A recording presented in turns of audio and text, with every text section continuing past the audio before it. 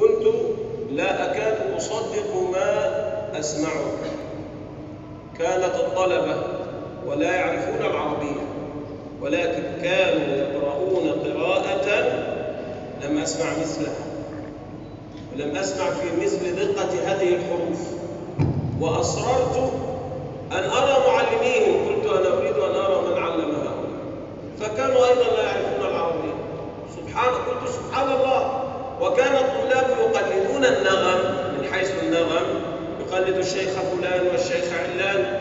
وأنا أقول في نفسي والله إن هذا الطفل يقرأ أفضل من هذا الشيخ الذي يقلده حتى وإن كان إمام حرم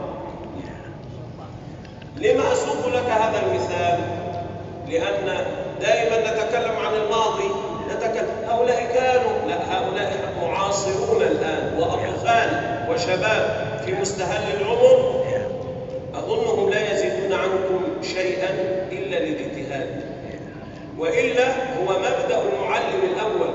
أنني لا أنظر إلى هذا الطالب أنه يكفي يكفي, يكفي. هذا هذا عجب لا معلمه يريده على أعلى مستوى. لأنه كلام الله.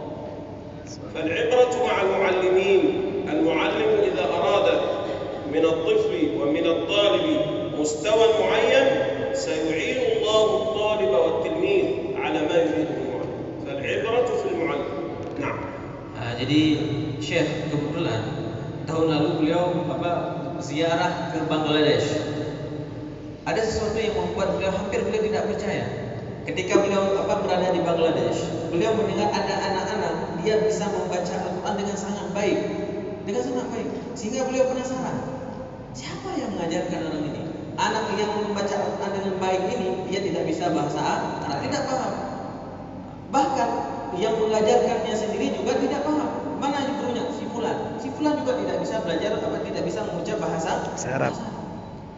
Anak tersebut dia apa copy paste. Dia mengikuti apa mengikuti irama irama ulama-ulama di Masjidil Haram. Bagus sekali. Bahkan Syekh mengatakan anak tersebut membacakannya lebih bagus daripada ulama yang dia ikuti. Apa bedanya? Apa bedanya dengan kita? Mereka orang ajam, kita juga orang Ajam. yang membuat mereka lebih adalah apa? Mereka berijtihad. Mereka itu apa? Punya kesungguhan, kelebihan apa? Kelebihan dalam semangat. Semangat. Mereka mau belajar lebih banyak. Makanya kita ini juga tergantung kepada guru. Guru, Kita. guru itu harus memimpikan anak-anaknya itu jauh lebih hebat daripada diri dirinya. Jangan wah ini kan kita ada cukup lah. Segini kemampuannya. Kita kan bukan orang Arab. Tidak seperti itu. Jadi kembali kepada guru. Guru. Bagaimana di Bangladesh anak-anak kecil? Syekh ketika di dalam pesawat beliau cerita kepada saya. Orang Indonesia ini perlu diakui. Orang Indonesia kalah di dalam Al-Quran dengan orang Bangladesh. Iya. kalah. Nah, ini sebagai apa? Introspeksi kepada kita. Saya malu sekali. Saya mengakui itu. Kenapa orang-orang Aceh eh, biasanya datang ke Kairo di Kaironya hafal Quran anak-anak di Bangladesh dari kecil sudah mantap jadi sampai ke Kairo tinggal ambil kiraah yang banyak. Sedangkan kita apa di sana mulai seperti saya. Ini contoh contoh baru nah, jadi mudah-mudahan kita bisa mengambil semangat dari orang